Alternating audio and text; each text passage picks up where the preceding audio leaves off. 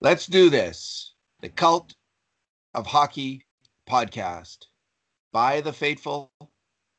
That's me and you, Bruce. And for the faithful. That's everybody listening. I'm David Staples of the Edmonton Journal, and I'm here today with Bruce McCurdy, and we are in a fine mood tonight. We're, I'm happy. I'm really happy, Bruce. That was that was the best. In some ways, it might have been the best offensive performance that I've ever seen from the Edmonton Oilers. And it wasn't like they scored the most goals, the most scoring chances, but the arrogance that they had when they were moving that puck around, especially on the power play, Bruce. That was right out of that was right out of 1984, 1985 uh, Edmonton Oilers. That kind of cockiness, I just I I was lapping it up. I loved it, Bruce. So hell of a game. So this is our two good things, two bad things, and two numbers podcast. And because it was a very happy win for the Edmonton Oilers, we're going to do two good things each. So why don't we start, Bruce, with your first good thing? Well, I'm going to go right off the board and I'm going to select uh, Connor McDavid as my good thing number one. Uh-huh. Uh, Connor really had it going on tonight. Right, right from the very first shift, you could tell that he meant business. And you know, I, I'm getting the sense here, and watching him tonight, I, I, I'm I'm saying to myself, you know, this is a man's game he's playing, and not not to not to it. not to say that he hasn't been a great player for a long time because obviously he has, but I get the impression that he's now sort of fully developed as a physical specimen and an awesome one, obviously, with the speed and everything else, but also the strength to win battles and and the determination and the resoluteness uh, that uh, uh, that he had tonight. He wasn't going to be denied, and he uh, he was the man. He took over that game right from the very beginning. His his line had an incredible shift one minute into the game, maybe. And they had, I mean, the first thing that happened was Tippett put Draisaitl out against Bo Horvat, who uh, Horvat had given the McDavid line lots of trouble last night. So Tippett having home ice advantage, uh, last change advantage, he switched up. So he put Leon against Horvat, and that freed McDavid a little bit.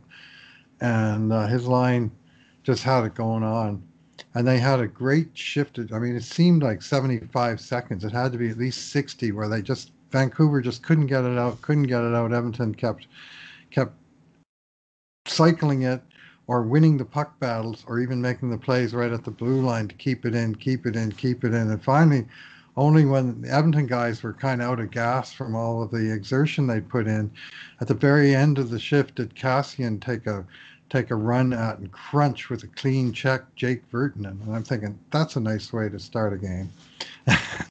and it just got better. I mean, McDavid obviously connected for the uh, for the hat trick with uh, uh, a, a, superb goal, uh, well, lightning quick goal with uh, 0.7 seconds left in the first period when they had two and a half seconds on the clock off the draw and uh, executed the play so cleanly they got two shots and a goal with 0.7 seconds to spare.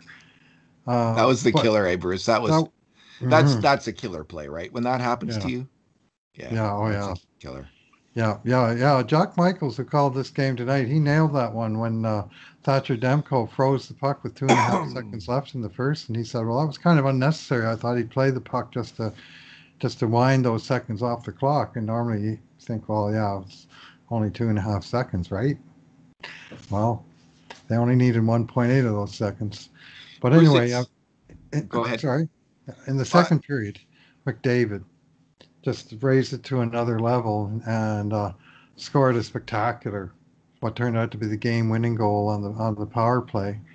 When uh, they did that patented thing, we didn't see much of it last night, but tonight we did of of the zone entries on the power play where they where McDavid winds up where he's circling the net while the Oilers are crossing just about the center red line, and they pull a long drop pass to him in full flight, and then he hits the opposition blue line at warp speed, and they just can't stop him. And this play, it was actually kind of funny. Leon lobbed a back pass to McDavid, and Barrie thought it was for him, and he tried to knock it down, and he missed. Did you notice that? Do you think it was on purpose? Because on the one broadcast, I was listening to the Canucks broadcast for some reason okay. with John Garrett, and oh. they were oh. speculating whether whether or not uh, Barrie uh, missed it intentionally, was as a decoy, or not on purpose, because they they thought it worked uh, really well as a decoy. Well, I would maybe they were onto something.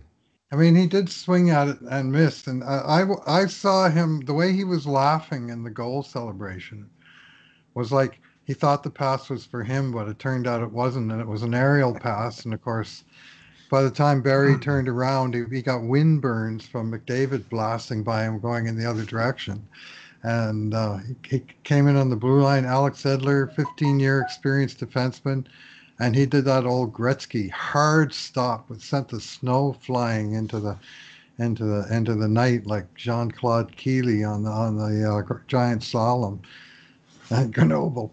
Uh, just cut inside and then wired a perfect shot far corner. It was just one of those McDavid, uh, not quite moment. I mean, it probably took him four seconds to go from one end to the other.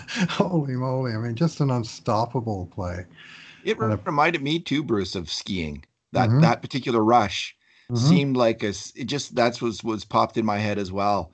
I was maybe thinking of Tomba or I don't know, like Franz Klammer. Just just that just it just he seemed like he was going as fast as a downhill racer. And I would also say, Bruce, I saw him do that move. I think last night as well. And I think is that a new move? Like, is that something? I I don't remember him as much because I I I think I saw it made him maybe try that move. Oh, I in the exhibition game that I watched where there was no um well, there was no uh, sound on it. He was doing that move, and I thought, oh, that's new from McDavid. And now he did it in a game. And you're talking about the the right to left move around the defense. Yeah, cutting in no, cutting into the middle of the ice. That sharp right. cut into the middle of the ice. And yeah, no, I don't think it's totally new, but uh, it sure was nice to see. I mean, it's it's not even if they see it coming, it's so hard to stop. I mean, Gretzky used to do this too, and, and kind of a different way, but he would come up on the defense to the defenseman's left and then he would slam on the brakes and he'd shift and the goalie'd be looking around the defenseman one way and then the shot would be coming from the other side and it would be past him you know and and uh, mcdavid did it but with uh, more power i guess even on the shot than than wayne used to get. Wayne wayne used to wrong foot the goalies and and uh, beat them that way a lot. But uh, anyway it was uh, just a marvelous sort of get make you gasp glorious play uh, and then, of course, he completed the hat trick on just by going hard to the net, taking an absolutely wonderful spinorama backhand pass from Leon Draisaitl in front of the net.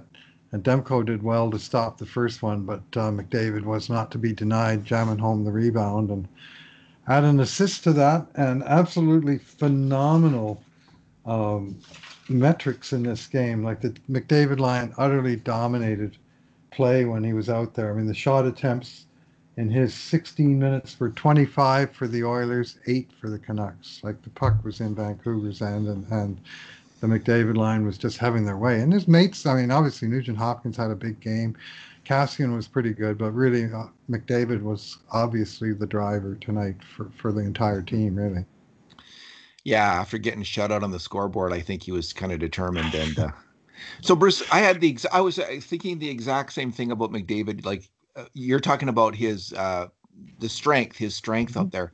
I was thinking strength, it was yeah. more like it was also psychological. Mm-hmm. That Great. we're starting to see someone who's who's in this league and you think uh, he's like he's thinking.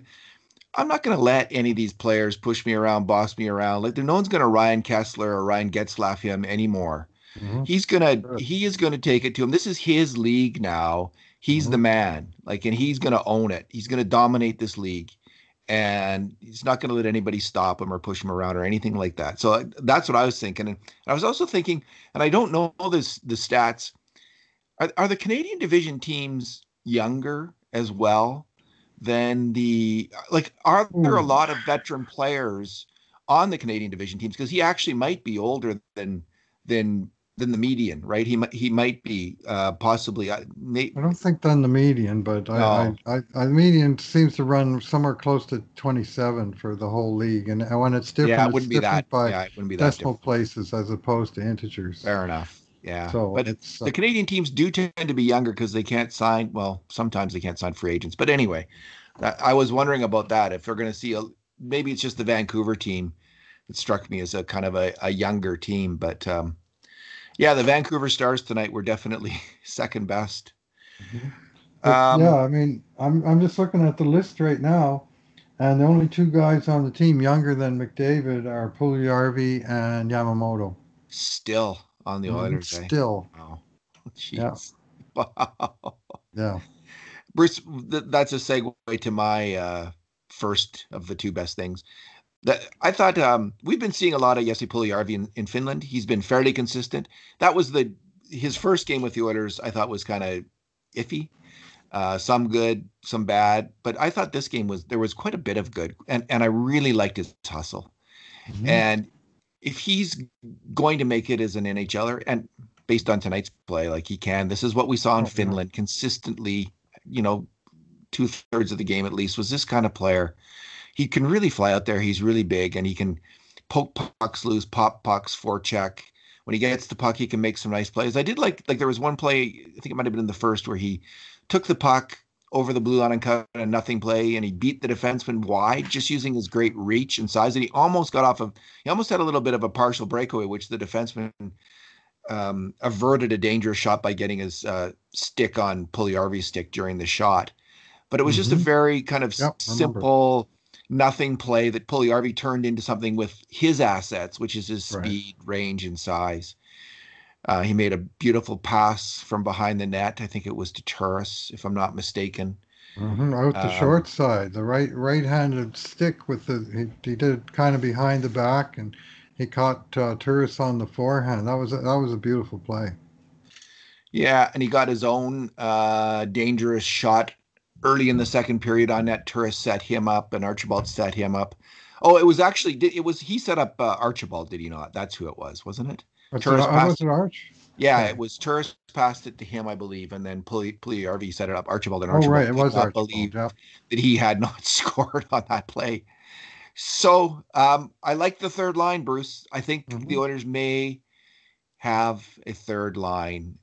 Uh, Turris can make a pass, take and make a pass, which is always at the NHL level, which is mm-hmm. which is a real skill, which is something that Riley Sheahan wasn't so good at. And Puljujarvi can, generally speaking, you know, he's a little iffy on his stick now and then. He can be give away the puck, but um, he can also make he can take and make a take and make a pass, and he really flies out there. He's he's he's trying to get good speed on the ice and uh, being the kind of the driver, the dominator on his line, take the puck, and liked what I saw. What about you? He likes to try stuff, doesn't he? And I mean, he does. that's yeah, the confidence is back. Yeah, and I mean, there's there's certain things where you think the guy, you know, you got to fail a few times before you realize, yeah, that's that play might have worked in the World Junior, but it's not going to work in the NHL kind of thing. And I mean, obviously he's not a newcomer to the NHL, but in, in, a very real sense, he is he is a newcomer in that he hasn't played in this league for almost two calendar years, right? So I think his last game was in the middle of February of uh, 2019 before he had his hip surgery, and so here we are, you know, 23 months later, and he's finally back in the NHL. So he's still kind of rediscovering his way around, but he's doing it in a very positive. Uh, way where you know he's bringing his game and he's you know uh, he's not tentative at all out there. He's making stuff happen and occasionally mistakes, but uh, um, I'm seeing at least tonight I saw much more. Uh, like I mean, seven shots on net. Wow. Yeah, and he looked That's, good on the uh, looked good on the power play in that brief little moment that he had out there. You know, screening the goalie, big mm-hmm. guy to screen the goalie, and not a bad guy to think about having on the power play. Uh, um, maybe. Um, you couple know, hits, a takeaway. You know, yeah. that's that's a nice night's work. What's your second good thing? Yeah, I'm going to go with Darnell Nurse tonight. Uh, he and his partner uh, Ethan Bear, uh, they played a lot of their time with the McDavid line, so they benefited from that. But I think the unit benefited from the play of all, of all the players together, and uh, uh, it was very, very. This was an exceptionally wide open game for shots. Like, it's how often do you see both teams with 40 shots? But it was 46 40 for Edmonton. And during the 19 minutes and change that Darnell was on the ice, the Oilers had 23 shots on net to uh, 15 for Vancouver. So wide open, but the Oilers got the better on the scoreboard by three goals to zero. But for all of that action, what I liked about uh, Nurse's game tonight was his composure. I thought he was mm-hmm. very good behind his own blue line. He had one turnover like in the first, seemed like five seconds of the first period. Uh oh. Uh, but he uh, he he settled down very nicely and he wasn't like huge into the offense, but he wasn't giving away much either. What what you have him for uh, for scoring chances? Uh, he he was really quiet on the scoring chance mm-hmm. front. He did didn't make a major contribution to any grade A chance of the 15 mm-hmm.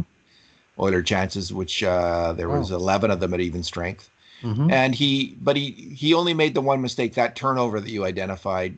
Uh, I think it, at the uh, two minutes into the game led to a grade A chance against, and that was that was his only major. So if a defenseman's like zero and one um, mm-hmm. on the scoring chance uh, metric, that's pretty good. That's a damn good game, actually. Like that. That's very quiet game, but a good game. So I'll take that every time.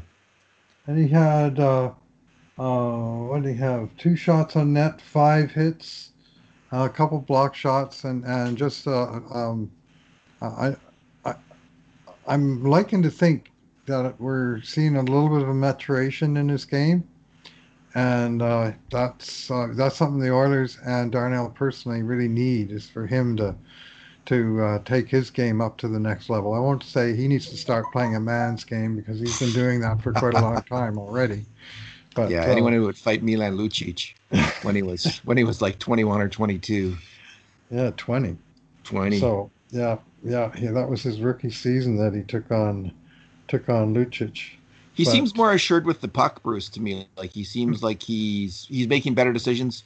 He's not rushing it as much. He's not skating with it as right. much. I'm finding he's just moving it more, and playing just more of a settled game. I just and there was one play where I, where, where I mm-hmm. really liked his play. I think Bear early in the second, if I'm not mistaken, had pinched or turned over the puck, and there was a two on one the other way.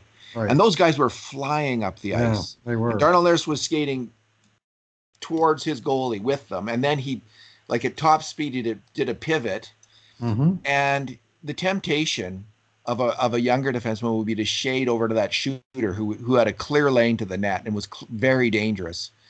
But Nurse played it like a veteran. In that situation, it's the guy who who's coming down the other wing who can get the one timer pass, the cross seam pass, who is a much danger more dangerous shooter. The goalie probably, you know, is you know not it's not a like the guy with the puck shooting down the wing. It's it's not a 25% chance. I don't think it might. It, it can be sometimes, but usually you can limit it to like a 15% chance, let's say. Mm-hmm. But Nurse stuck with that other guy, stuck in the middle of the ice. He blocked the passing lane, and then at the last second, he closed on the guy who was shooting. It was a textbook play of a very fast two on one mm-hmm. attempt against the Oilers, and, he, and I just thought he was exceptional on it. I really loved his play on it. Yeah, a little play that caught my eye was one time when the Oilers had been pressed in their own zone for a significant length of time, which Vancouver is really good, by the way. They're, they're excellent at zone entries. They got a lot of skill, and the, and they can keep the pressure on uh, for you know shifts at a time. And this is one where you know he was pretty deep in his shift at this point, I think, and his mates were too. And they, you know, when they had, I think this was. Uh, uh, I guess it was the uh, it wasn't the second period, so it wasn't a long change, but uh, they finally got control of the puck.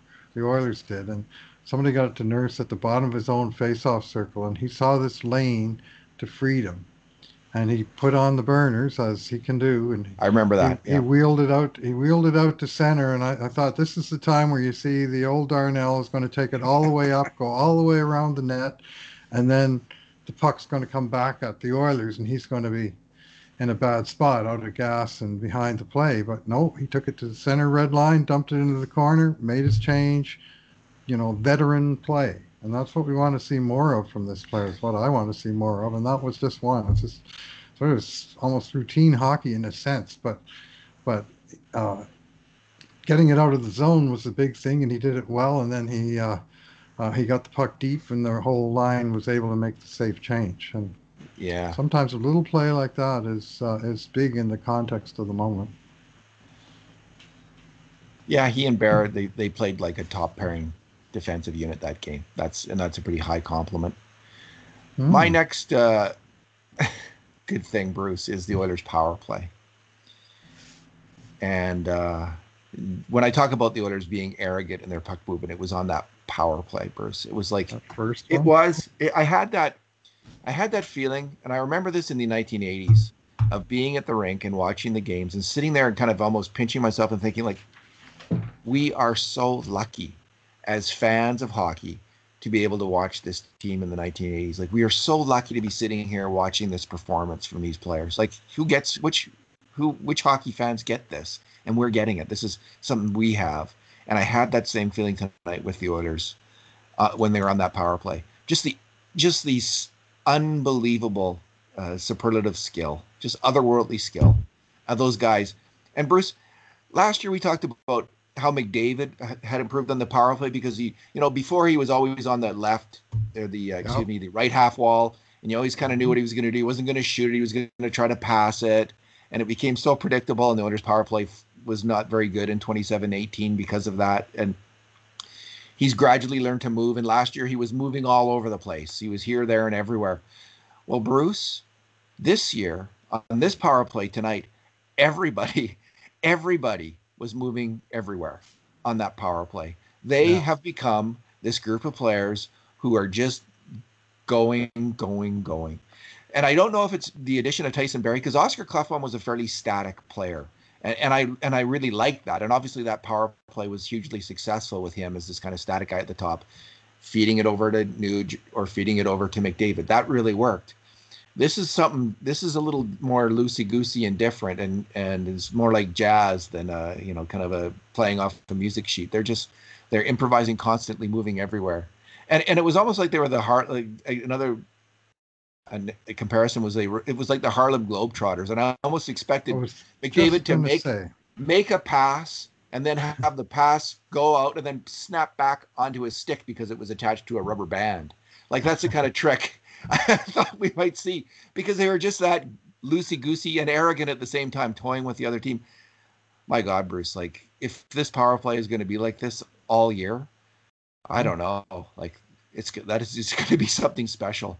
I was just going to say Harlem Globetrotters. You read my mind because I was, you know, just uh, the, like you say, almost arrogance and the, and the knowledge that they were, you know, going to put the biscuit in the basket, as the Globetrotters always seem to do, also. yes. And you know that power play. Uh, I'm just looking at the I'm just looking at the play-by-play now. The penalty was at 6:24. Uh, the Oilers generated a real good shot chase on at 6:43. A shot attempt by Draisaitl at 7:04. A shot attempt by Nugent Hopkins at 7:15. A shot attempt by Draisaitl at 7:24. A shot attempt by Barrie at 7:33. Finally, the goal by McDavid at 7:48. Like every 10 seconds, another shot towards the net. And even if it didn't get through, they always won the possession back. Like they just kept dominating the, the puck recovery. And Vancouver never did clear the zone once on that entire power play. And eventually their penalty killers were just gassed. And it just seemed inevitable that someone was going to put it home or the goalie was going to somehow freeze it, you know.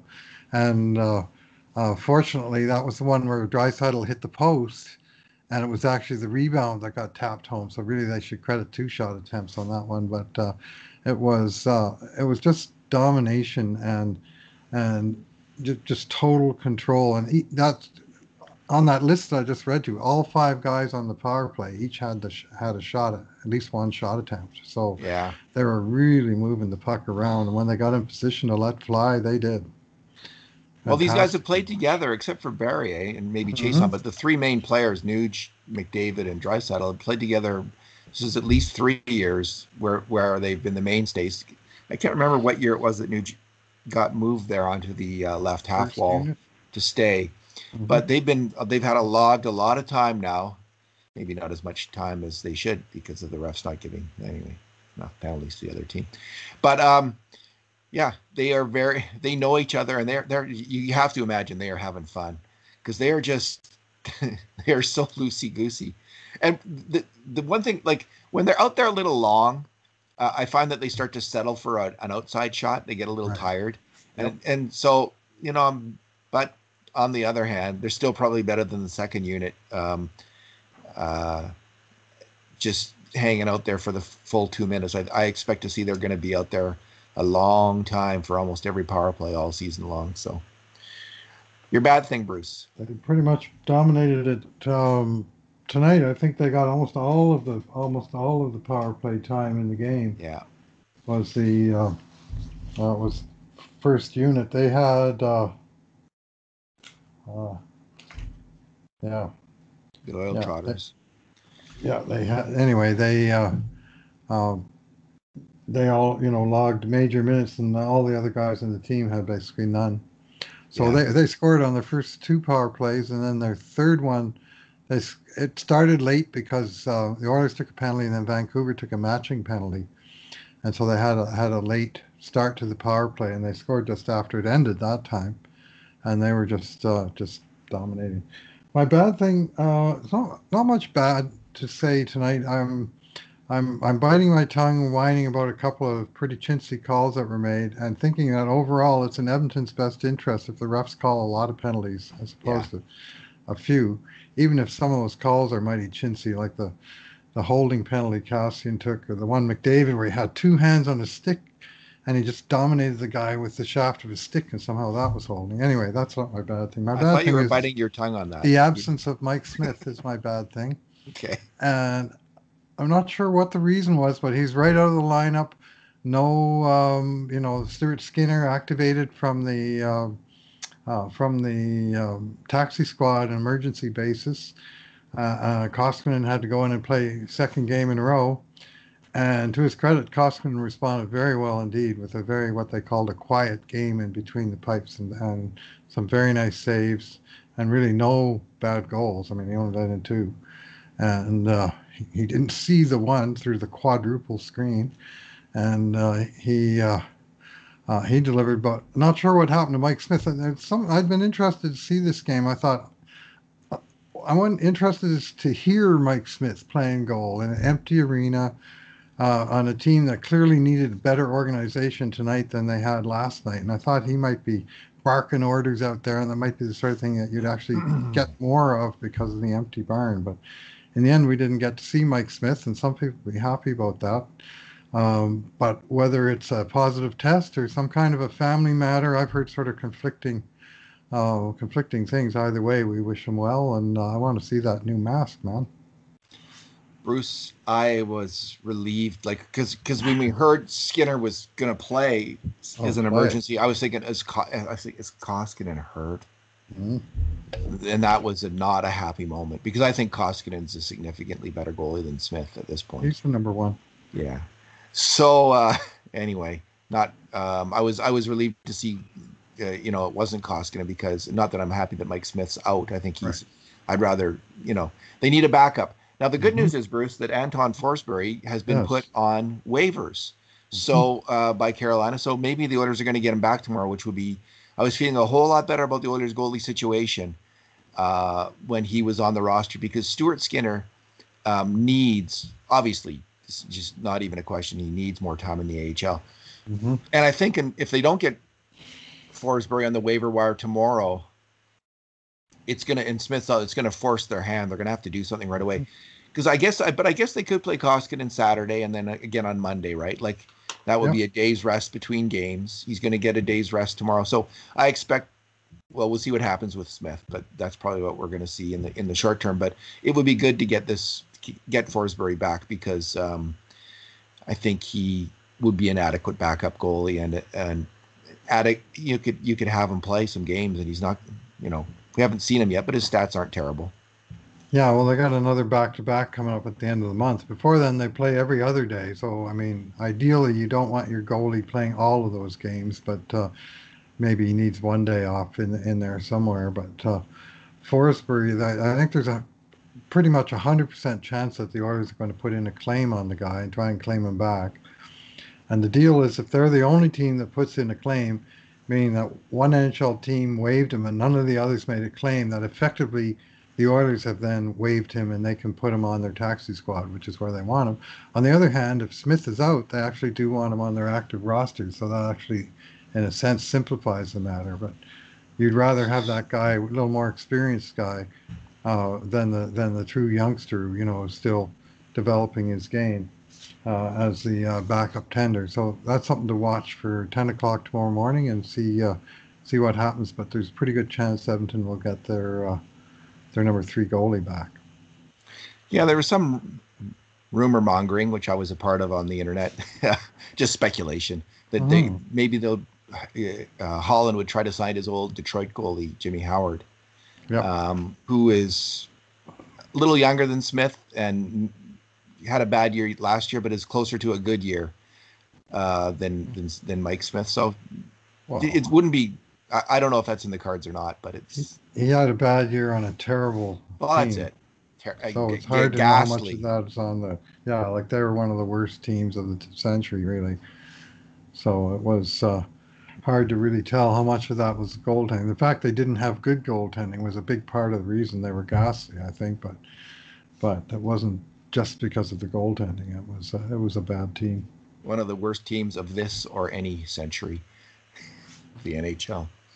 Uh, my bad thing, Bruce. I'm still not digging the fourth line. Uh, Khaira actually had some moments mm-hmm. this game. Played but they way were better for, tonight. He did. They were out for another goal against. Yep. And um, they looked terrible on that goal against. They were all running around and they managed to have on that play four guys screening Koskinen from the point on the point shot. All orders and, and, a line. Was, and, and, it was terrible because like um, Chiasson had chased the guy into the corner, and then the puck went back to the point, and the closest guy to the point was Larsson. But Larsson, of course, being the stay-at-home defenseman, he he should have probably just gone out to the point to cover off that shot. But it, it, it just gave the guy all kinds of time to tee it up, and he and he did so and moved. It was who was it that Nate shot Schmidt. that? Nate yeah, Schmidt. Nate Schmidt, and four Oilers, four Oilers were in the line of fire, which is good. Maybe they were all trying to block the shot. I don't, mm-hmm. I, I, assume so, but they all screened Koskinen, and some that some people were blaming Koskinen for not saving that one. Bruce, um, what's your take on that? I, I, I thought that's a pretty hard. It was a rocket. No, I, I don't think there's any way he saw it. So it either hits him or it doesn't, right? Yeah. And maybe he should have been in position it seemed to have well he was in not bad position. It did seem to drop like louis thought that it might have caught a stick out uh, part way in possibly an oilers stick since it was all oilers that were in the line of fire and it seemed to drop.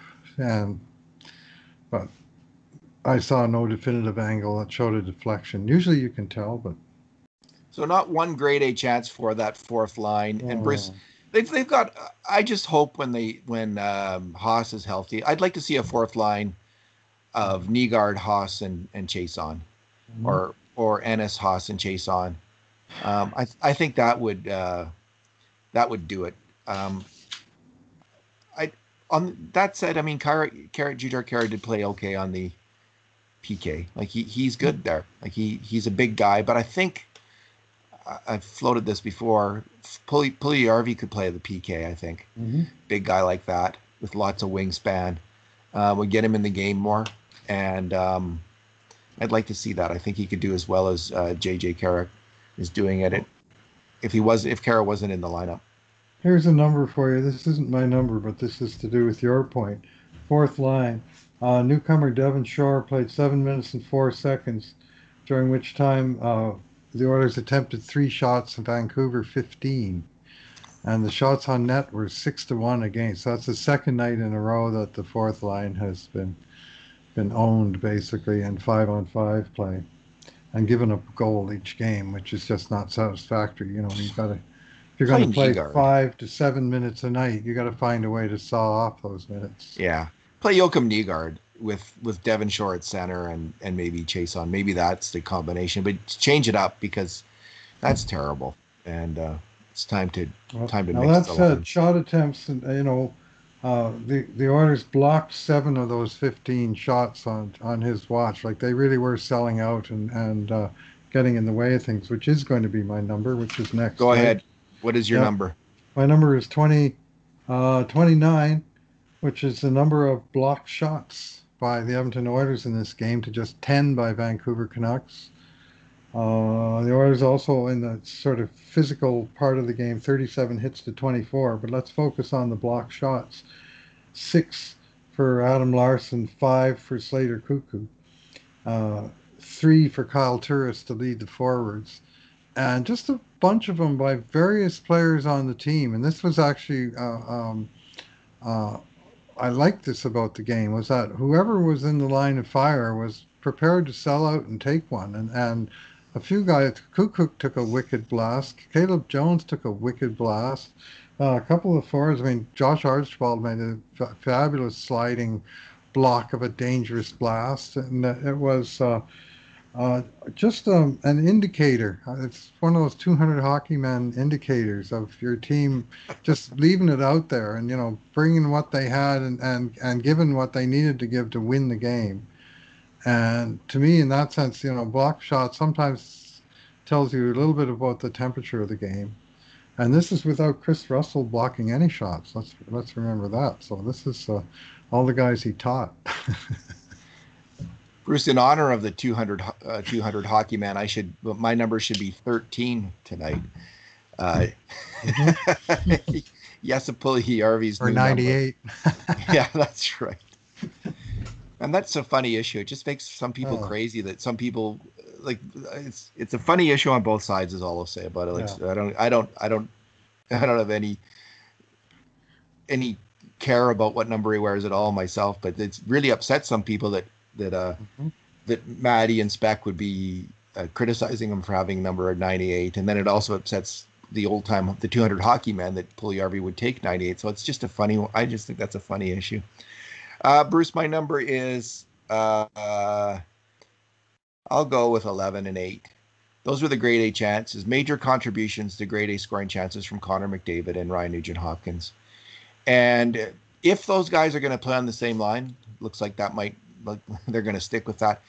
Mm-hmm. They really do have to produce, and two ways. They got to be dominant, two-way hockey players in their own end and at the other end, and they were that game. And um, it was one of McDavid's magic nights as an offensive hockey player in the NHL, and uh, not a moment too soon for the young season because fans mm-hmm. like me were panicking. Just kidding. No, you you want to boss things, and and McDavid bossed things tonight. And generally the Oilers did, but uh, McDavid certainly led the way in that department. But Nuge, as the other guy you named, I thought he was way better tonight. Yeah. And you know, last night, you know, he was in on some scoring chances, but it was like a couple of them were almost accidental, where the puck bounced to him and he was able to chip yeah. it to a good spot or stuff. It wasn't like real uh, uh, strong uh, planned plays, and tonight he was clicking with his mates on the power play, and certainly with McDavid and and Kassian at even strength. You know, because he's such a he just strikes me as such a humble uh, individual, and but he's got to play with some arrogance in his game. He's mm-hmm. got to get that going sure. to become a great offensive hockey player. And I think with McDavid, because McDavid is an arrogant player, right? He's cocky. Like after he scored that goal, you know, like uh, I think it was uh, yeah, it was the great goal that he scored. You know, like mm-hmm. his celebration afterwards was pretty good. But Nuge, that should rub off. I want to see that rub off on Nugent. I'm starting to see that. Like just just play with a tremendous amount of confidence, and and hustle, and maybe we'll, we will see that Normie Ullman uh, second phase, Patrick Marleau second phase of his career that you've talked about, where the player mm-hmm. gets better into his 30s uh, with Nugent Hopkins. We he this is you know that was a, one of the best games Nuge has ever played for the Edmonton Oilers, and if he's looking for a big payday, uh, that's a pretty good uh, statement game. Now just put together uh, 20 or 30 more of those in a row, and you have a midseason negotiation, and you're all set. Well, here's a number for you and a statement, because the numbers are the statement. And in his last 36 games dating back to New Year's Eve, so his last 36 games, Nugent Hopkins has 52 points. Wow. 52 points in 36 games. That's something very close to 120 per 82 pace. Just a little bit off, maybe 118 or, or right in there yeah. for 82. Like, that's not just point a game, but way, way above. I mean, 52 and 36. That's that's just phenomenal. I mean, and he's he's done that at left wing basically since he moved to the wing with uh, Draisaitl most of the last regular season, with uh, McDavid in the play-ins, and again with McDavid now, and he's just um, continued to pop them home, and so yeah. that's that may be the reason that they're a little bit far apart on the numbers that the Oilers are seeing as a complementary player, and the agents going, well, my man had 49 points in the last 34 games last year, and uh, let's see how he does in the first half of this year and talk again. Yeah, this is going, the problem that we've talked about before mm-hmm. with McDavid. The, the, longer you wait mm-hmm. when he's playing with McDavid and playing on that power play, the more you're going to pay because in the NHL you pay for points, mm-hmm. and um, he's getting them. Yeah, so well, that's, that's the good news. Mostly. Let's let's let's treat that as good news.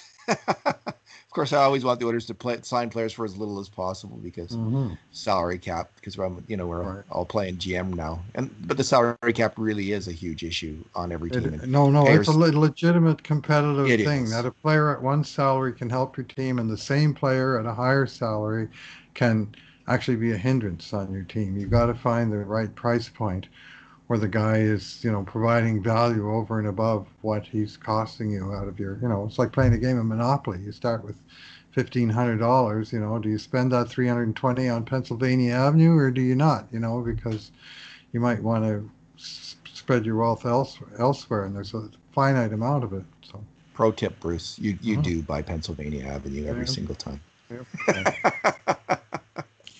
Least that's my strategy. All I right. used to ignore the greens and go for the blues, but that was my strategy. Park Place and Boardwalk. Well, that's a funny game. Monopoly. We were playing Pente the other night. You mm-hmm, ever play yeah. that? That was fun. Yeah, yeah, yeah. We chatted about that. You had one of your daughters. Oh, that's right. Involved. Yeah. Yeah. yeah. I, I, I, remember getting clobbered by this guy at uh, on our Oh, that's breaks. yeah, that's right. That's what you're telling me. The Pente tournament. Mm-hmm. Alrighty, Bruce. Thanks for talking tonight. Yeah, thanks for listening, everyone. And uh, it's nice to nice to have a win again, man. It's our second win in ten months. You know, the Oilers came into this game having lost six out of their last seven, a streak that began in January, continued through August, and then continued. No, sorry, it began in March, continued through August, and it uh, continued with the first game in this January. And it seemed like a long bloody time that we were waiting for a game with a happy result. So I'm I'm happy. I'm happy too. This is a good Oilers team, Bruce. This is a very good Oilers team. Uh, over the series, I'll just one last thing. They they outchanced the Canucks. I think 1917 in our after we reviewed it. That's what the scoring chances were 1917 and 15 to eight. So that's not bad. All right. In the meantime, and in between times. This has been another edition of the Cult of Hockey podcast.